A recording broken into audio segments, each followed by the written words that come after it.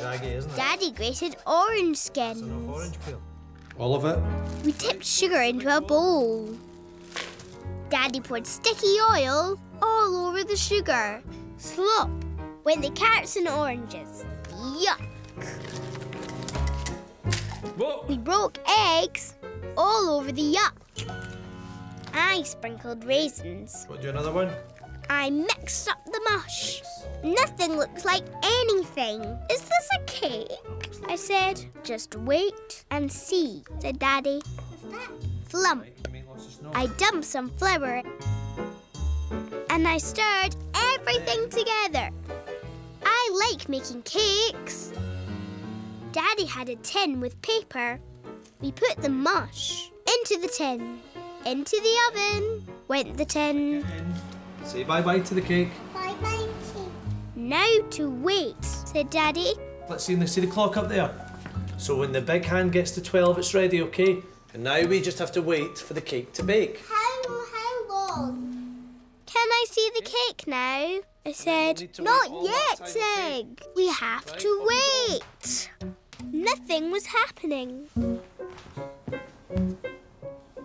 I didn't like waiting. Hey, Tig! Waiting for things to happen can be very tiring and dull and yawning. Waiting for things to happen can be angry making too. The trouble with waiting for things to happen is that some things just don't seem to happen at all.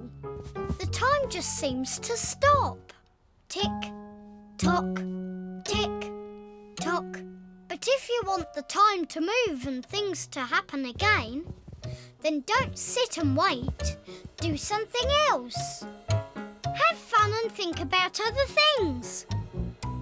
And when you're having fun and thinking about other things, things will start happening. So go for it, Tig. Why not have fun and help Daddy clean the kitchen? Then that cake will be baked in no time. Yes, I thought. No use sitting and waiting. I'll do something else. Daddy, can I help you clean up? I helped Daddy do the washing up. Okay.